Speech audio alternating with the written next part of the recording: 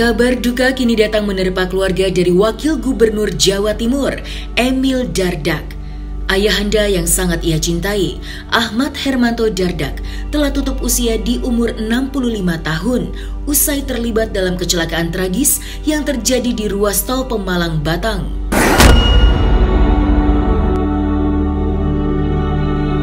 Mobil yang ia tumpangi terlibat tabrakan dengan truk yang disebabkan sang supir diduga mengantuk. Kepergian Hermanto Darda ke hadapan sang ilahi turut membawa duka yang mendalam bagi keluarga yang ditinggalkan. Mengingat jasa beliau yang sangat bermakna bagi anak-anaknya yang bisa dibilang telah sukses seperti Emil Dardak yang merupakan wakil gubernur Jawa Timur. Dimakamkan secara militer di Tanah Makam Pahlawan Kalibata, Jakarta Selatan, maka seperti inilah suasana duka yang begitu terlihat di saat prosesi jenazah Hermanto Dardak diturunkan ke liang lahat.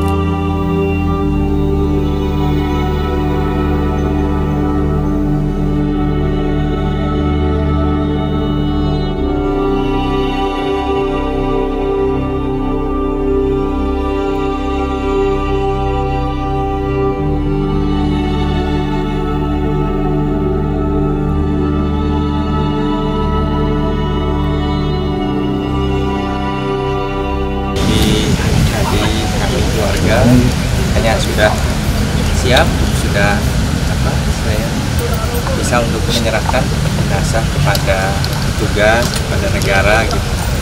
Ya alhamdulillah kita dapat kesempatan terang mungkin ya. Banyak yang sudah tahu kondisi yang dialami beliau tapi ya, alhamdulillah eh, lepas dari kondisi itu ternyata jenazah fisiknya jasadnya dalam kondisi yang sangat baik dan Kak Putri dan ibu saya ya, masih bisa bahkan ya, menyentuh musim almarhum.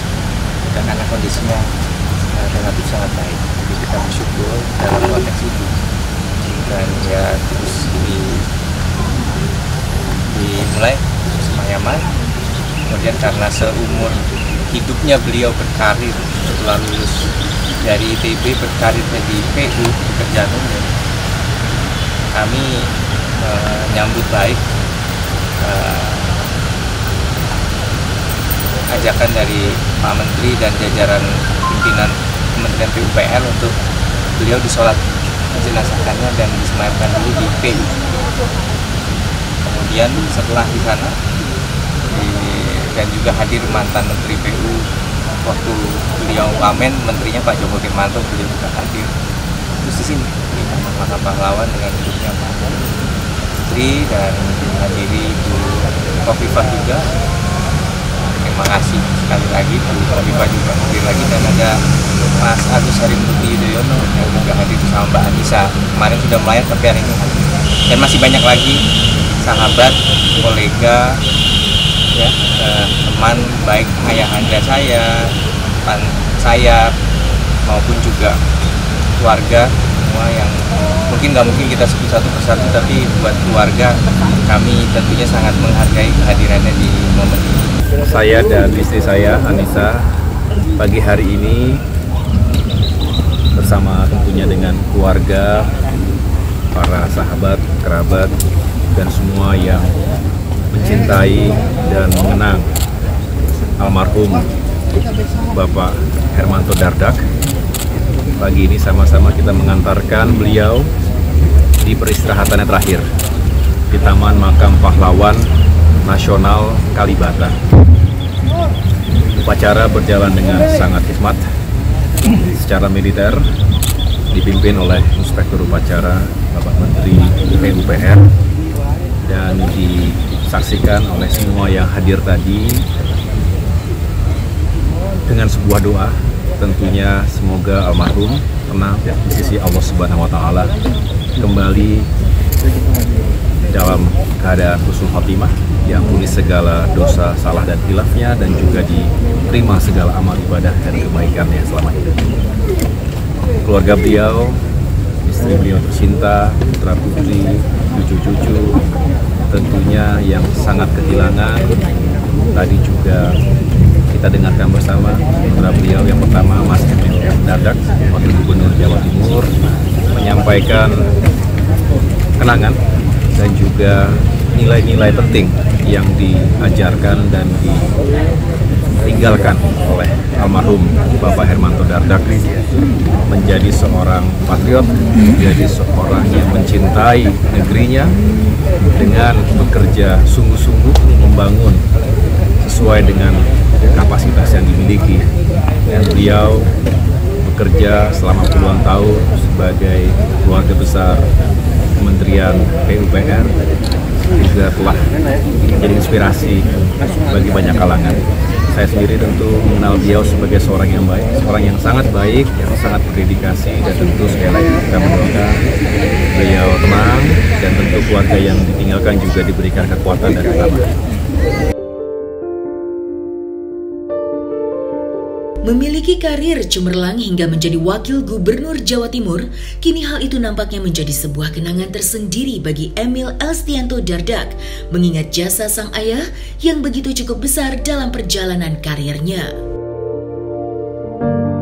Memiliki rekam jejak yang begitu mumpuni, berkat effort Hermanto Dardak, Emil sebagai anak tertua nampaknya tidak bisa melupakan begitu saja peran penting dari almarhum sang ayah yang ia turut sampaikan di hadapan media.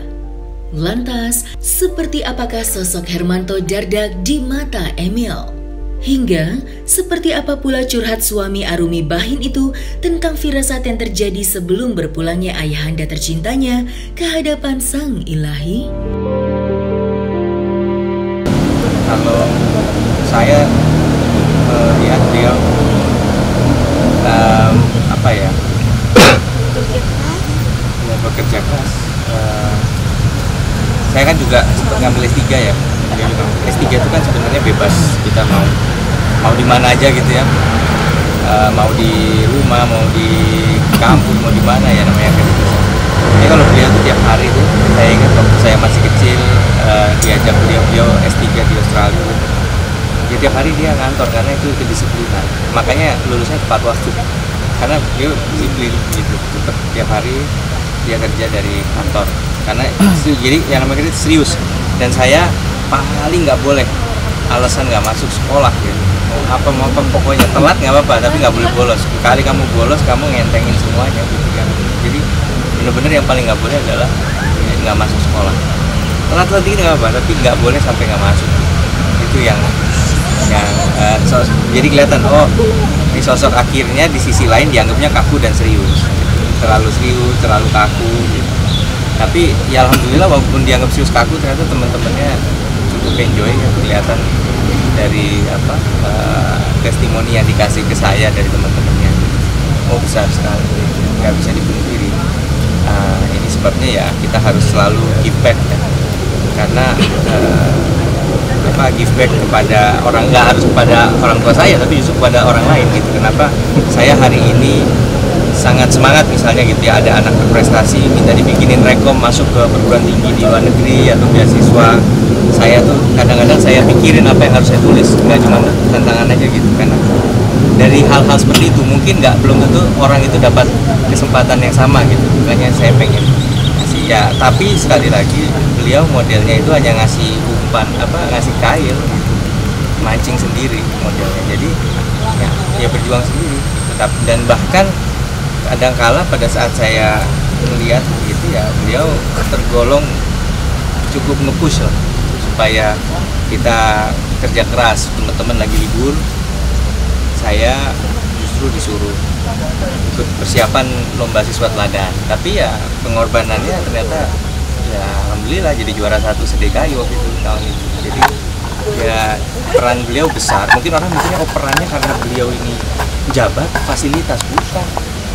Peran yang diberikan itu justru adalah guidance adalah motivasi karena effort malah kalau orang salah nangkep pressure sebenarnya punya orang tua kayak beliau.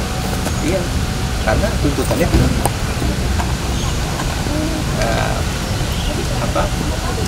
Ya gitu ya. Teman-teman saya pernah ngalamin tuh gitu. dia cerita ngalor ngidul nih.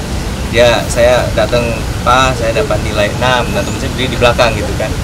Terus kata beliau kenapa nggak empat aja sekalian? Gitu nah teman saya di belakang agak nelan ludah karena dia empat nilainya gitu ya maksudnya pressure gitu kalau dipikir-pikir jadi. Tapi di sisi lain ya itu mungkin beliau bisa ngasih guidance karena beliau sendiri juga sudah punya punya apa istilahnya eh, pemahaman. Makanya saya bersyukur adik saya itu sempat agak pressure juga menyelesaikan tugas akhirnya teknik fisika di ITB gitu. Saya bilang gue relax tapi kok bapak saya nge-push terus gitu. Dan alhamdulillah akhirnya lulus dan cum laude adik saya malam harusnya berangkat ke Swedia ngambil artificial intelligence dan tapi ya kita tunda dulu jadinya karena ada kejadian ini. Baru sadar oh ternyata dikejar bapak saya nggak ada hari ini. Jadi ya mungkin kalau nggak dikejar mungkin beliau nggak akan menyaksikan bahwa adik saya lulus dengan nilai cum laude